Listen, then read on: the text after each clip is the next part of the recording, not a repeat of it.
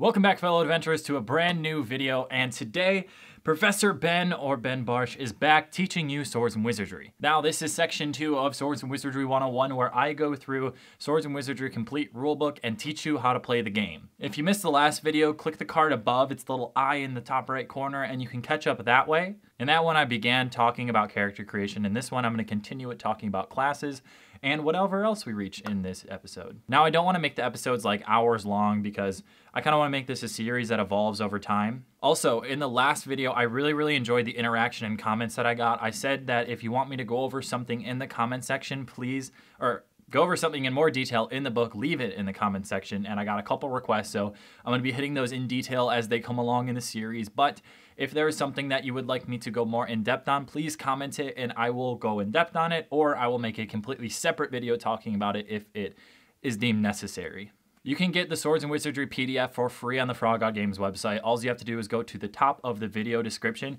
and click on the link. You can download that for absolutely free. You can tip whatever amount you would like. Obviously, a tip is kind of recommended, but if you want to pick up the hardcover book, then you can get that for $35 and follow along at home. And that gives you the complete rule book. It gives you everything you need as a player and then the, uh, the game master referee as well. So you don't have to be buying a bunch of separate books or anything like that. Please leave a like on this video if you enjoyed it anytime. It really, really helps me grow the channel and subscribe if you have not subscribed already because at 1,000 subscribers, I am going to be doing a giveaway. And once we get closer to that, I will be announcing you know, what I'm giving away and how to enter and all that kind of good stuff. Without further ado, let's get into section two of Swords and Wizardry 101. Okay, now we are in the PDF. I would like to take a moment real quick to talk about some um, broad specifics. Um, first of all, I want to today in today's video I want to go over um, races actually before I talk about classes.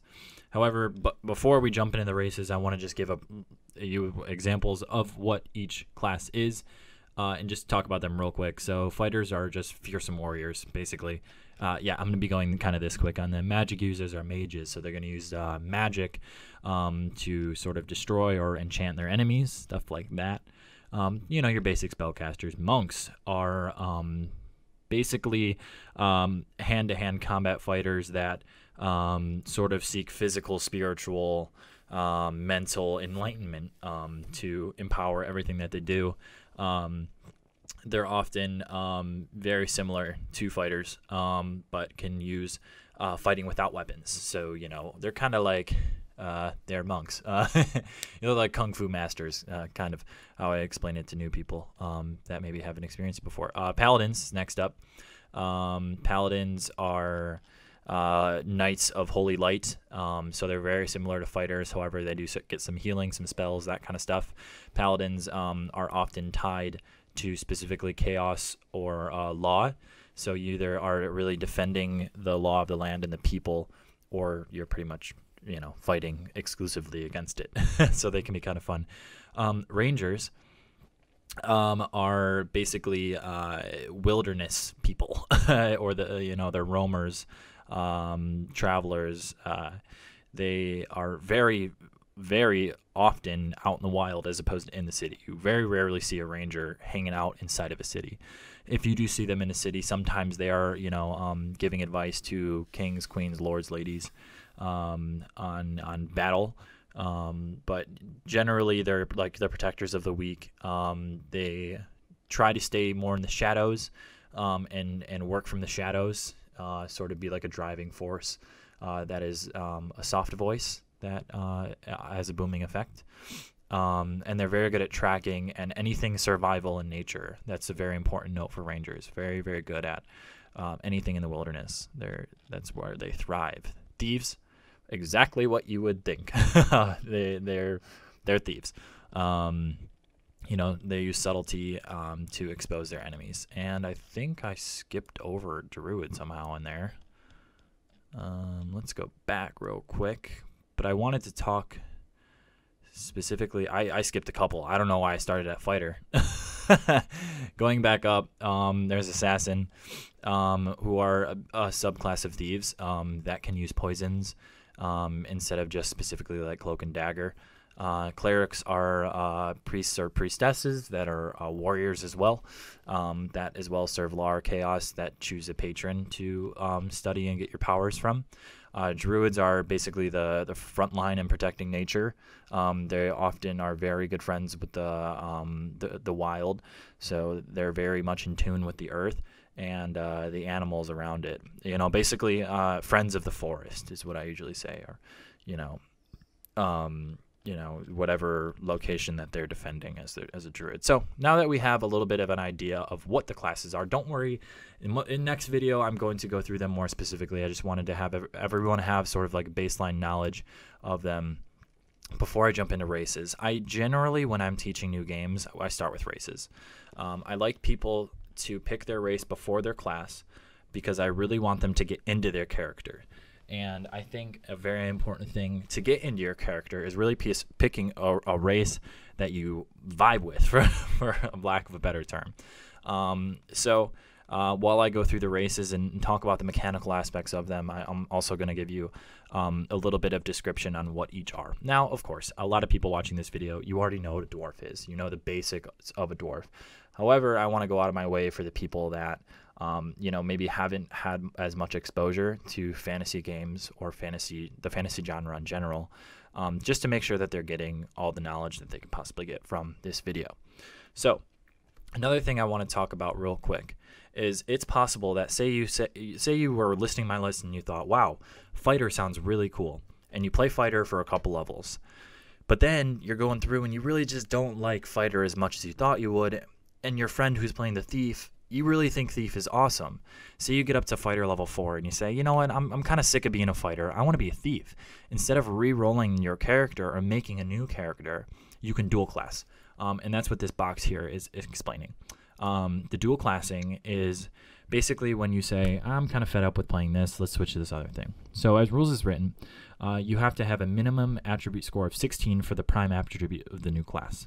So dexterity is prime for thief, so we would have to have at least a 16 in our dexterity. Now, if you don't, maybe you can work with your referee or, or game master to uh, maybe do some side quests that you raise your dexterity. Uh, maybe you just spend like a month with a Thieves Guild or something like that, improving on those abilities. Um, I, I, personally don't like saying no as a referee or uh, dungeon master, game master, or whatever you want to call it, but I will work with my players to get to where they want to be. Sometimes they're going to have to earn that though. Um, so say you you know go thief. The problem with advancement. So you're you're level four as a fighter, right? Your next level, you want to be a level one thief. The problem with advancement, and this will all make a little bit more sense as you know we go through this.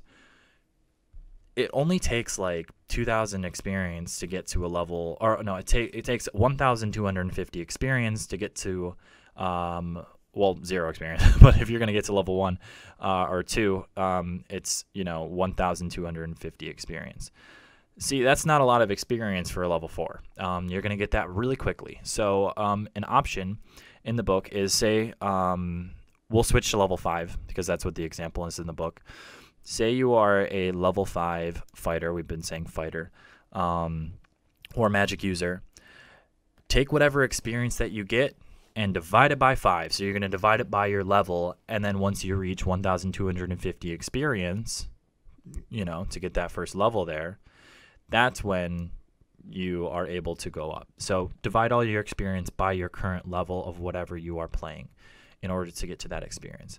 Or this is what I do in my games. Um, now, p- people who play fifth edition will, um, you know, notice that this is you know pulled right out of, of 5e dungeons and dragons say we are a level 4 fighter and we really want to be a thief you see how from level 4 to 5 or to be level 5 you need 10,000 experience.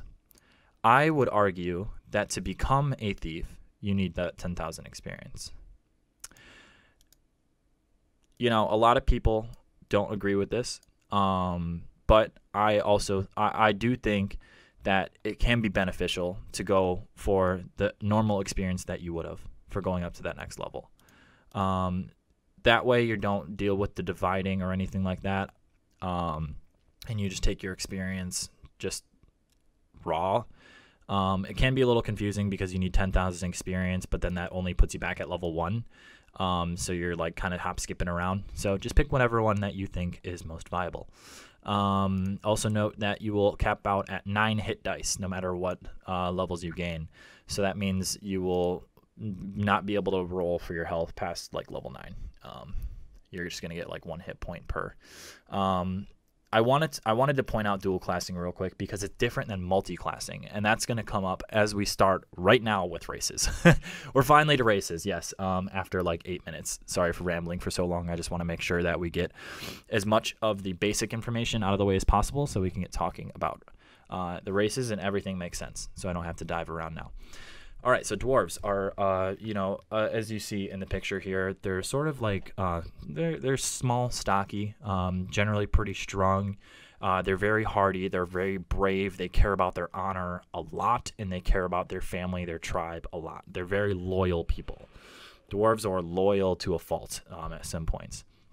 They're generally uh, found in like mountain halls or mines um, with settlements that are kind of exclusively dwarf.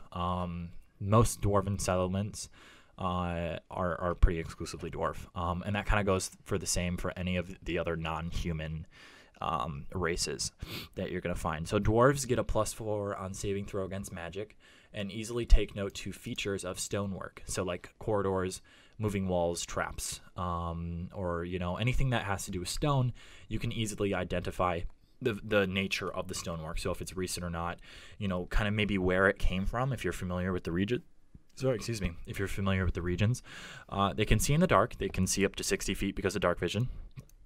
There. Okay. This is why I want to talk about race before I talk about class. Dwarven players must be fighters or fighter thieves. Now you see fighter thieves there. You say, "Oh, Ben, that's really cool. They can only dual class fighter thieves." Wrong.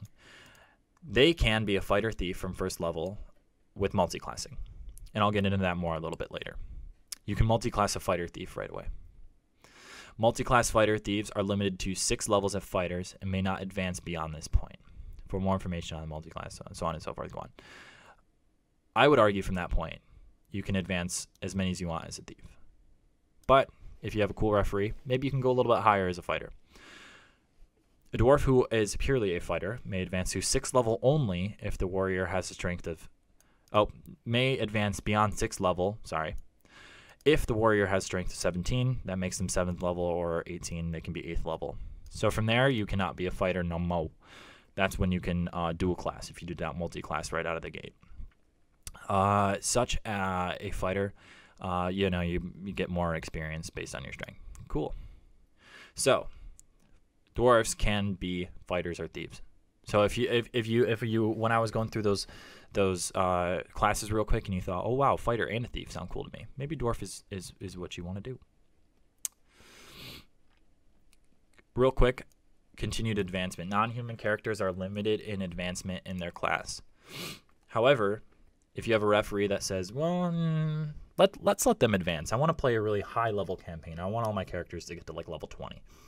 Have them advance a little slower. And the reason why is because non-humans get these really cool abilities like plus four on saving throws, and you get dark vision and stuff. Humans aren't so lucky. Humans are pretty baseline. they don't really get anything. Their their nice part is they can be a bunch of different classes than non-humans can. So if you want, if you are allowing them to advance past whatever level cap that they may have, consider giving them a um, experience um, you know, like a stifle to their ingredient or their, their ingredients, experience rather. So, moving on to elves. Elves are more elegant. They are quite almost the opposite of dwarves. um, they're taller, slender figures, more dexterous and more mindful. They often think more with their minds than they do their hearts. Dwarves really think with their hearts and act more off impulses. Elves are way more methodical and generally are can be a little bit more selfish um, and more they more have a sort of a preservation mentality than dwarves do. So elves uh, can see in the dark as well. This is their cool ability. They have a four and six chance to find secret doors when searching, unlike the other races. So they can find secret stuff like very easily. um, everyone else has a two and six, so you know double basically. Uh, Elves also have a 1 in 6 chance to notice a secret door when they are not searching at all. Say they're just walking down a corridor. This is for you referees. Say they're walking down a corridor and they pass a secret door, but they said they never said that they were searching for it. That's when you roll a d6. Say you roll that 1, then you say, "Oh wow, elf, You walked past a secret door, and just as you were about to go past it, you noticed the mechanism. So sometimes they can even find it without searching. And they cannot be paralyzed by ghouls. That's huge. Ghouls are nasty, nasty monsters. And the ability uh, to negate the ghouls like nasty's ability, which is paralyzation, is pretty big. Elven players can be fighters, fighter slash magic users, thieves exclusively, or fighter magic users, thieves. My favorite class in the game, class race combination since I started playing, has either been fighter magic user elf. I, have I've loved it. I still play it to this day, no matter what edition I play. I find a way to multi-class it or to make it work, or I play human ranger. That's that's besides the point. I played a human ranger when I was uh, young. I was playing solo adventures because rangers were one of the only classes that stood a chance for any of the OGs listening. Um, so I played human ranger or I played um, elven fighter magic user. I have so much fun with this class. Um, I think it's really cool to have the ability to fight up in combat and then back up and use some spells. I just I really do enjoy it. Um, an elf that is solely a thief may uh, advance with no level limit. So thieves can go on for forever as elves. Um, so keep that in mind if you're think, thinking about making a thief, um, or if you're making an elf. Maybe that's just an option for you. Um, elves advancing in more than one class are limited to fourth level as a fighter, and then if you have higher strength, you, you can go a little higher. Eighth level is magic user, and then you can go a little bit higher if you have a higher intelligence. So you know that that's pretty a basic theme going on here. So if you're a thief, you can go on forever, and then fighter magic users, fighter magic user thieves are going to have those restrictions for you. Um, but if you're multi-classing it, you're basically, you know, say you get capped out at fourth level, you get the lowest, and then you get capped out at eighth level. You're basically level 12. So you're making it really high anyway. Um, not often in, in sort of these old school esque games do characters make it super high anyway. Um, half elves, yay. Half elves are half elf, half human. Half elf. A really fun thing to do here. Okay, let me explain half elf real quick. So half elves are born of, of humans and elves. Uh, you know, say you have a human dad, elven mom. Some of them are often raised in the separate societies. Like I said, generally the the races don't mingle very much. Only in really like human settlements will you find a mixture of others, but rarely will you find humans hanging out in elf settlements. So it might be really cool for you to have an elf elf that is more in tune with its elven side because say it was raised in the elven community as opposed to the human community or vice versa. You know, the half elf was raised raised in a human town um, and has more of the human traits than the elven traits. What I really like with half elves is switching it up. So, like I said, you're half human. Maybe you're half dwarf, half elf. I know. I'm a madman. Or maybe you're half human, half halfling. Pretty wild, right? Personally, I would just keep these bonuses that you get.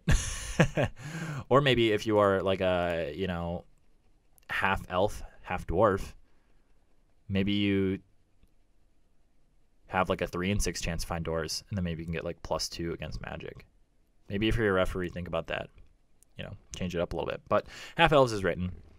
You get the four and six chance, and you can see doors. Uh, in seeing doors, and you can see in the dark, 60 feet. They're very similar to elves in this game. Very, very similar to elves. Here's the difference. Half elves may be fighters, magic users, or you can be a fighter, magic user, cleric. Ooh. So here we go. We finally have clerics unlocked in the multi-classing. Half elves do have restrictions on maximum levels. A half elf can reach level 6 as fighter, or more if you have higher, and can reach 6 level as magic user, or more if you have higher intel intellect. Half elves are limited to level 4 as clerics. That's not getting any better. Half elves may also be thieves, single class only, and may not pursue any other single classes such as as fighter or magic user. As a thieves, they can advance with no limit, without limit. Um, so basically, the difference between half elves and elves is the cleric thrown in there. You can get to up to level four in cleric. So if you're thinking about playing maybe a cleric, but the others interest you, maybe you do a multi class as a half elf. Kind of fun, kind of cool. Take a sip of water. Since we're about halfway through, a little more, more than halfway through. Halflings, yay. Halflings gain plus four in saving throws against magic, and have a plus one bonus when using missile weapons. Kind of comes from their small, you know, jump around quickly mentality. Oh, right, halflings, obviously. Uh, they're prairie folk. Um, halflings are generally very happy, happy individuals. Anyone who has seen The Hobbit or The Lord of the Rings knows that there are some hobbits that are very optimistic uh, beings that are very joyful. Uh, however, yeah, there's some negative hobbits and halflings um, that are sort of grouches, but you get that in any society. The majority of the halflings, though, I would play them, you know, as joyful, spirit, spiritual folk that always sort of bring the shining light to any situation. Um, it even says here they're generally non-aggressive in nature, which is limiting them to only four levels of fighter. Obviously, because their size kind of comes into fact is that as well. Uh, they may also choose to be thieves which in this case there's no level limit on them. A lot of people decide to play halfling thieves because they're sort of small, you know, sneaky folk um, that also get a plus one bonus to when using missile weapons. So instead of getting up there in combat as a thief, you can stand back with a bow um, or any other missile and, and sort of fire in when you're not doing your thieving stuff, like listening at doors. Humans are the default race of swords and wizardry. Uh, humans are humans. Everyone knows what humans are. They don't give any bonus or penalties. Um, humans are hardy, hardy, hardy, a hardy breed. There we go. Um, they can be the highest of high, the lowest of low. So they can either be the most faithful in their faith, most holy, or they can be the, the most evil. Um, you know, that's really in any fantasy world, or our world is unfortunately it is. Note that non humans cannot be assassins, druids, monks, paladins, or rangers as a player character. So humans unlock you to everything. You don't get any of those bonus or, or negatives attached to you because you can be any of the, the classes that I went over earlier. So multi-classing. You're asking me, Ben. When you said half elves, you can set you said they can be fighters slash magic users slash clerics. That does not mean they can be fighters or magic users or clerics. It means they can be a combination of all three, which is super cool. I really like multi-classing. So multi-classing is is when you take um, and and mash together the specifics of those classes. You're still going to gain all the benefits from being that class. However, you're more than one class at the same time. Super cool. Um, basically, you know, it's another incentive to playing a uh, race, uh, a non-human race, rather.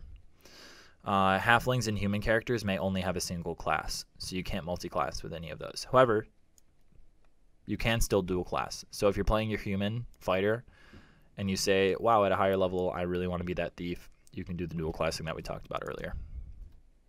Now, I know all of this can be a little confusing, so I want to remind you again if you go over to the Frog God Games website, froggodgames.com, you can download Swords and Wizardry, the PDF, for absolutely free. So you can take your own time and read through this and really digest it. Ask me a question in the comments section, all that kind of stuff. Or you can buy the hardcover book for thirty-five dollars and you know um, uh, have a you know have a physical copy of it as well. I know I always like having physical copies. Uh, hit dice. Multi-class characters begin with a single hit die. Uh, each multi-class hit die is calculated by rolling the appropriate die for each class and averaging the result. A multi-class character is limited to total nine hit dice. You only get nine hit dice if you're multi-classing, and past that, you only get one hit point per additional level. Abilities and limitations. Basically, you're limited in what you can specifically do. So, say you're a fighter thief. You can do your thieving skills, but only nothing heavier than leather. So this way, you're not, you know, hiding in the shadows with clunky metal armor on you know, plate armor on. You can still only wear the leather if you're doing your thieving abilities. Make sure to keep that in mind. In addition, elves or half elves cannot cast spells while wearing non magical armor. So, say you're playing, you know, that that fighter magic user, uh, you can't have plate armor while trying to cast spells. Although magic armor does not inhibit spell casting. So, say you have magical plate armor or something, or magical armor of any other, you can still cast your spells, which is really cool. Make sure to keep those limitations in mind a note to referees out there listening. You can make up your own limitations as you please.